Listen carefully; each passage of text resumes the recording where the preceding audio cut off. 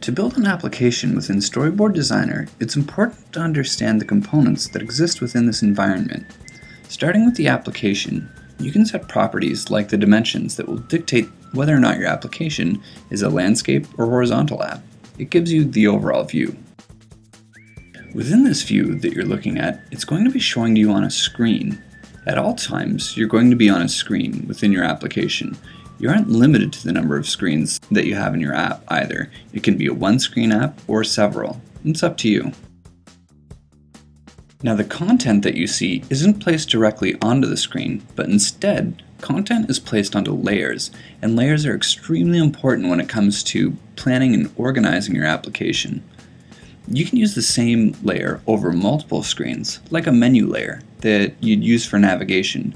If you wanted to move from one screen to another, you'd have your navigation layer on those screens.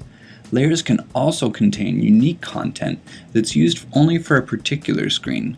Planning what content goes into a layer is very important and planning which of those layers are on what screens will help you keep organized and really help the process of developing your application go smoothly.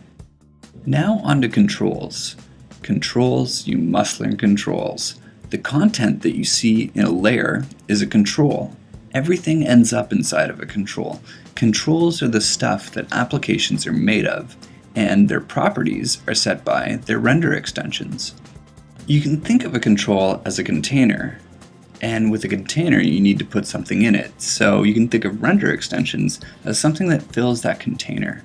Now render extensions can be text, it can be an image, a background color, it can be a 3D object, several other things, and combinations of these both. Controls exist within layers, and those layers populate a screen or multiple screens.